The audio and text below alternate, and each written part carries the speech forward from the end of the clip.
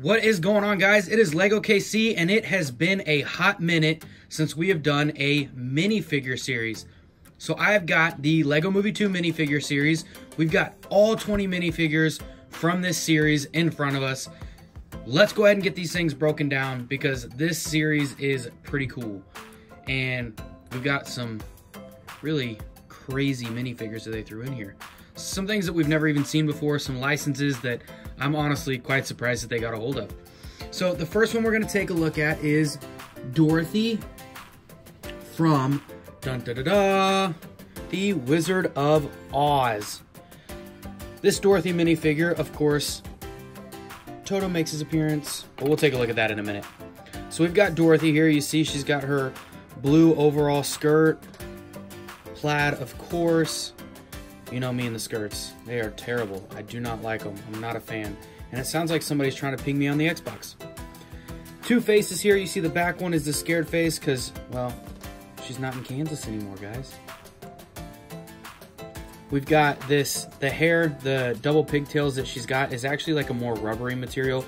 Kind of like what they did with Batman's shoulders in the Lego Movie 2 sets, which is really exciting and really, really cool. And then you got on here the front smile. You see the braids and the blue bow ties as well as the pink lipstick. And then, of course, Dorothy would be almost nothing without Toto. Moving down the list, we have the Cowardly Lion and his Courage. Now, if you guys don't know what I'm talking about here and you haven't seen the movie, wow. wow. That's all I'm going to say. You see his tail here. You got his big lion mane and, of course, two faces. Ooh, if we can get this back off here. Happy face on the front. More of a content face. Well, this is technically the front. Let's go ahead and switch this around. It's just not happy enough. The Lego Movie 2 is just full of happiness. This guy needs to be happy. He's got his courage. He just needs to be a happy guy. Put his mane back on here. Straighten the face out. And we have the Cowardly Lion. Next up, we've got Scarecrow. And what does Scarecrow want? He wants a brain.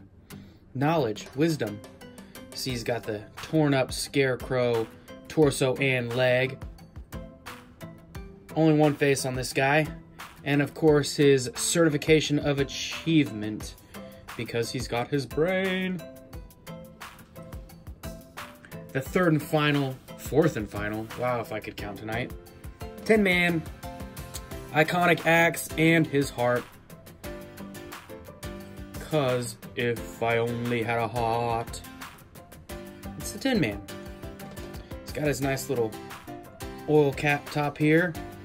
You see he's got the tin face, his little bow tie, all the different joints and everything going on. Just a, a nice tattered torso here.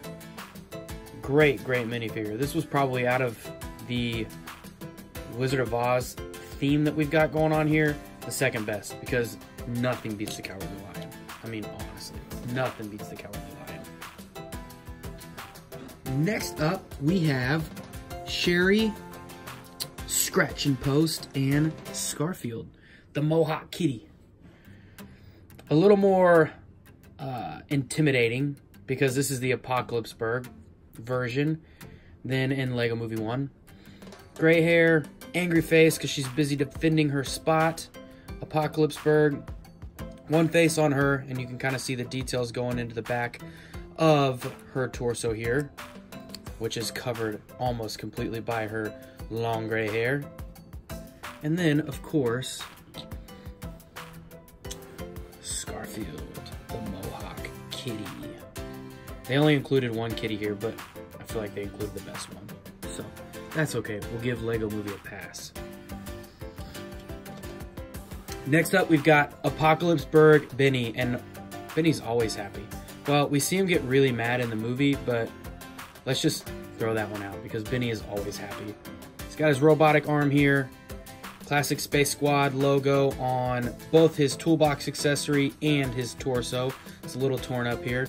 Again, we've got his really, really super happy face because it's Benny, air tank on the back, and then let's just say don't make Benny mad. Otherwise, you'll get this face. And that's not the face you want Benny to make. Nobody puts baby in the corner.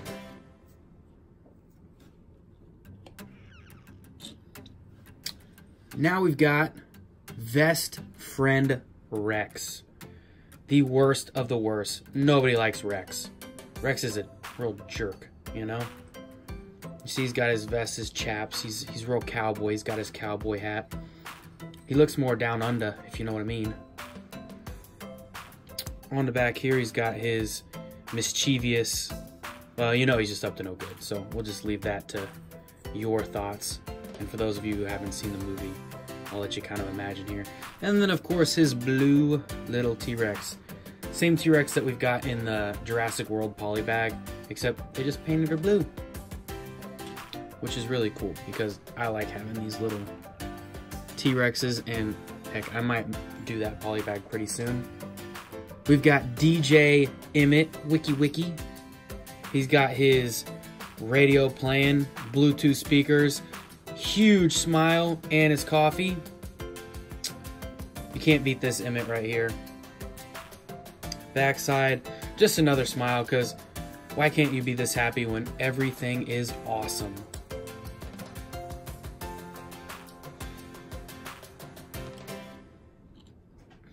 Then we've got Apocalypseburg Lucy. She's got her angry little face here, glasses, nice little top piece, and her binoculars so she can look out for the aliens off in the distance. Taking that off, you see how upset Lucy looks in this one right here. She just looks real angry. Spinning her around here, she's got her bow, arrows, and a smile because she probably just got done hanging out with Emmet or saw Emmet. We all know Lucy loves Emmet.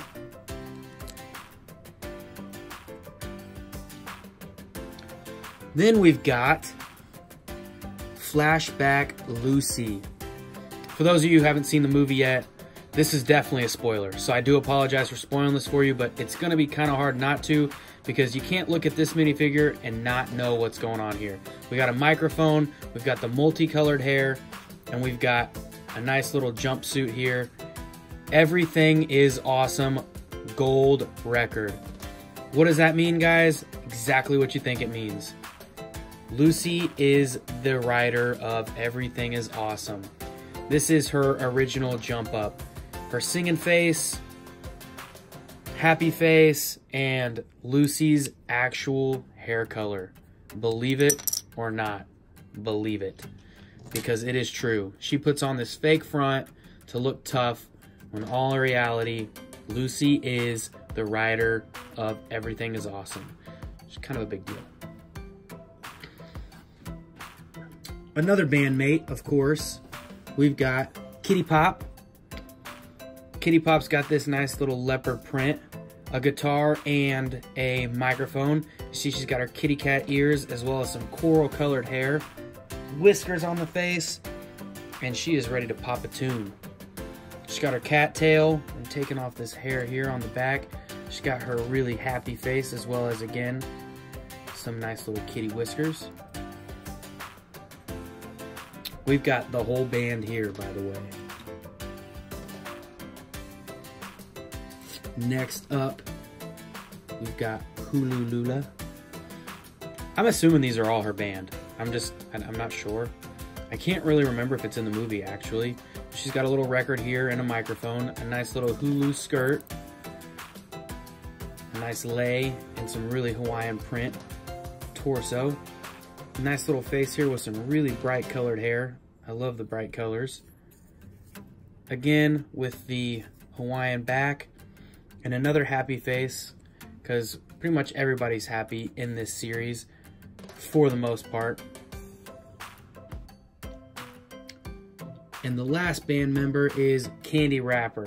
because everybody needs a hype girl. She's got her disc here, microphone here, nice little skirt, a lot like the Ninjago one, blowing a wink with her nice little pink blush, and this crazy awesome hair she's got. Nice star and a little pink accent, light pink accent. And of course on the back, just another happy face because she's a rapper. It's the Lego Cardi B with pink hair. What do you know?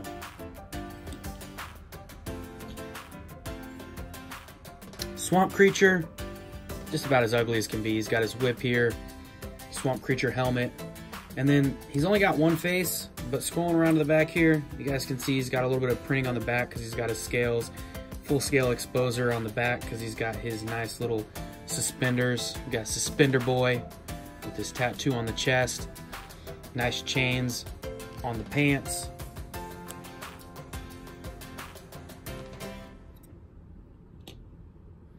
And then we've got probably one of the shortest roles in the entire Lego movie too, which is quite comical if you ask me.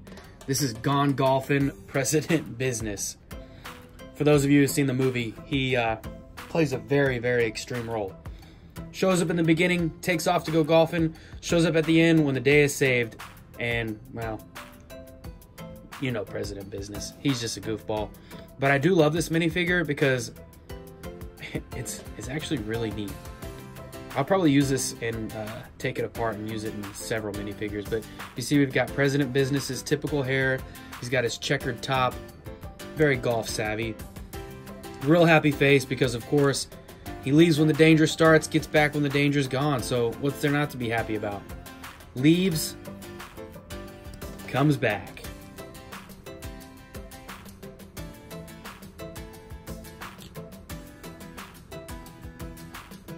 And then we've got Apocalypse Abe. Apocalypse Abe is, in my opinion, the best in the entire set. This is the coolest minifigure in this entire set. Angry, Apocalypseburg, Abe. Reminds me a lot of Abraham Lincoln Vampire Slayer, or Vampire Killer. I can't remember exactly what the title of that movie is, but one of the coolest movies.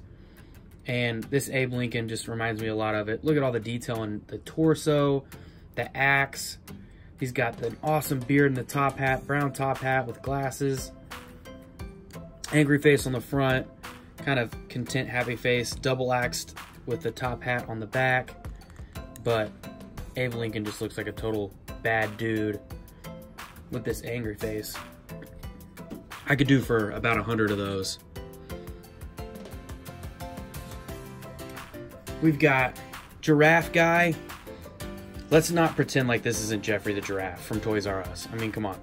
Why else would they do this? He's got a nice little leaf accessory. Happy face. On the back there, a kind of sideways little smirk. But again, without saying it, they obviously added this to be Geoffrey the Giraffe. Don't sue me. But you know that's what it's for.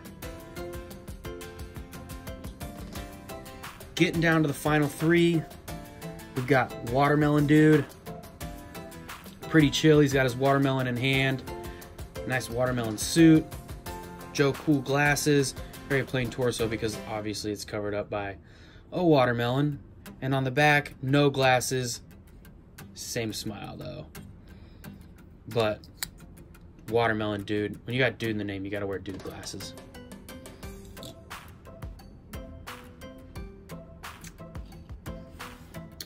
Crayon Girl. Very original name here. A nice little crayon drawing of a minifigure head. And then, plain purple torso and legs. But if you scroll in closer, you see purple lipstick. And same with the back with the scrunchy eyes, purple lipstick. So they did a little minor detail in here with this minifigure. And our final minifigure Drum roll, please.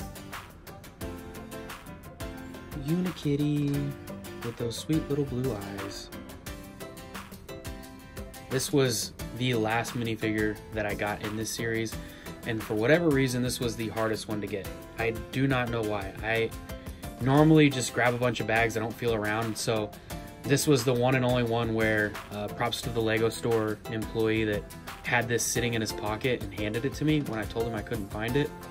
But I have about 16 bags that I haven't opened yet, and I have a feeling I'm going to get probably five or six Unikitties in that bag just because it was so hard to find, and now that I have it, I'm probably going to have an overabundance of it. But that is the entire minifigure collection for the Lego Movie 2. This is all 20 minifigures. I tried to go in depth as best as I possibly could, but I hope you guys enjoyed the video. I hope you guys enjoyed the um, different unique licenses that we have going on here.